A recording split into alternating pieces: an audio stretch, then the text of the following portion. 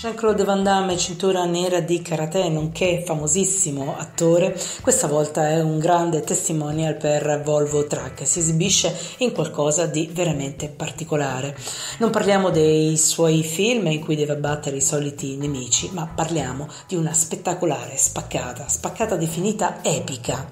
concentratissimo e sospeso tra due camion che viaggiano in retromarcia, i suoi piedi poggiano sugli specchi laterali, la sua faccia è seria ma rilassata, ecco che inizia lo spettacolo. Uno dei due tir si sposta lentamente verso sinistra fino ad ottenere una spaccata perfetta da parte di questo attore che è degno dei migliori stuntman. La scena è molto semplice e dà l'obiettivo di dimostrare la capacità di precisione che la Volvo ha voluto dare ai suoi camion. Van Damme è veramente bravo